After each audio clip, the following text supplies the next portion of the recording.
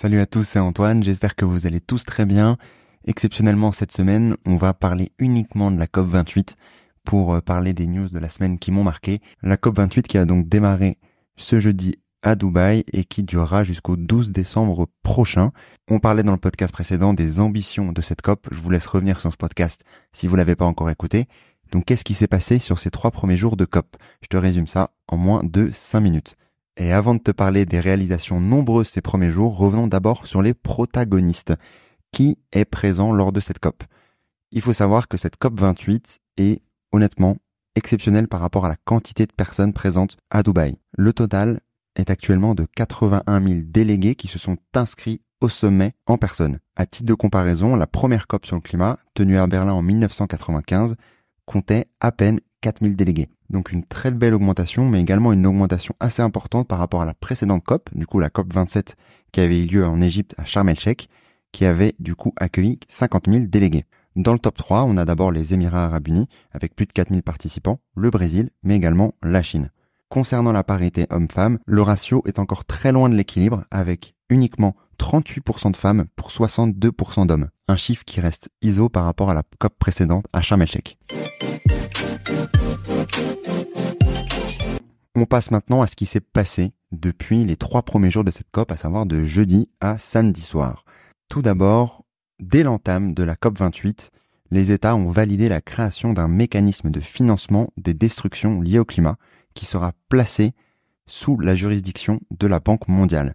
L'an dernier déjà, dans la COP 27, les pays du monde avaient acté le principe de créer ce fonds et depuis jeudi, un accord sur le financement des pertes et dommages a donc été trouvé. Ce financement est important car il s'agit des dégâts irréversibles causés par le dérèglement climatique, comme les événements extrêmes, les cyclones, inondations, etc., ou les processus à plus long terme, comme les sécheresses ou la montée du niveau de la mer. Malheureusement, il y a un mais. Ce petit hic, c'est la quantité de financement promis à ce fonds. Actuellement, les Émirats arabes unis ont proposé 100 millions de dollars, l'Allemagne également, 10 millions pour le Japon, 17 millions de dollars pour les États-Unis, 40 millions de livres à environ 50 millions de dollars pour le Royaume-Uni, donc un montant qui ne dépasse pas 300 à 400 millions de dollars. Le problème, c'est que le besoin est estimé entre 290 et 580 milliards de dollars, donc à savoir mille fois ce montant.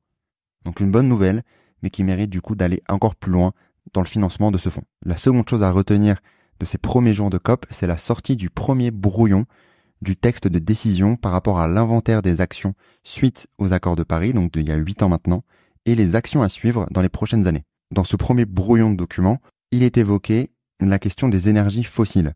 Et plusieurs points sont évoqués. Notamment deux mots, le phase down, donc la réduction progressive, et le phase out, l'abandon progressif des énergies fossiles. Donc les deux mots sont mis côte à côte et vont bien entendu être discutés tout au long de cette COP. Mais c'est déjà un premier bon point car les énergies fossiles sont déjà présentes du coup dans ce premier brouillon. Ce dimanche, l'IAE et les Émirats arabes unis ont déclaré qu'il était du coup aussi nécessaire de ralentir progressivement l'offre et la demande des énergies fossiles, notamment le gaz et le pétrole. Donc même si on parle ici de phase down, donc de réduction progressive et non pas de phase out, d'abandon progressif, il est important de rappeler qu'il n'y a jamais eu d'engagement sur ce sujet en 30 ans de discussion climatique. Enfin, le dernier point à retenir, hier samedi, c'est 118 États qui promettent de tripler la capacité d'énergie renouvelable mondiale d'ici à 2030. Les pays se sont engagés à travailler ensemble en vue de porter les capacités mondiales d'énergie renouvelable, donc l'éolien, le solaire, l'hydroélectricité, à 11 000 gigawatts à cet horizon, contre environ 3 400 gigawatts aujourd'hui.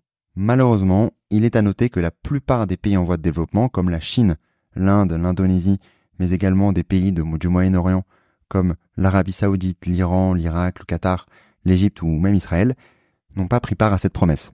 À noter également qu'une vingtaine de pays, dont la France, ont appelé à tripler l'offre du nucléaire d'ici à 2050.